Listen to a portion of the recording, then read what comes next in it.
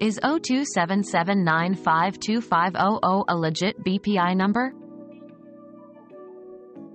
To verify if 027795250 is a legitimate BPI, Bank of the Philippine Islands, number, it's best to contact BPI directly. Use their official customer service channels, such as their hotline, email, or website.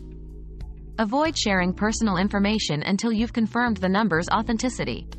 This step ensures your financial safety and prevents potential fraud.